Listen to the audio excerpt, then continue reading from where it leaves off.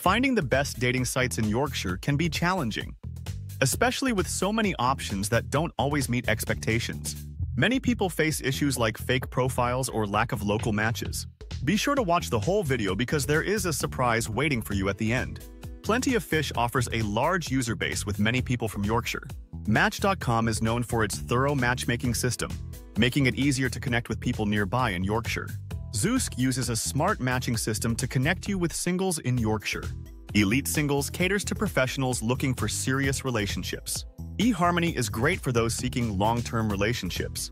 Our Time is designed for singles over 50, making it ideal for mature dating in Yorkshire.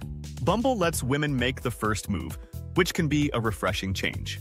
Hinge focuses on creating meaningful connections with its detailed profile prompts.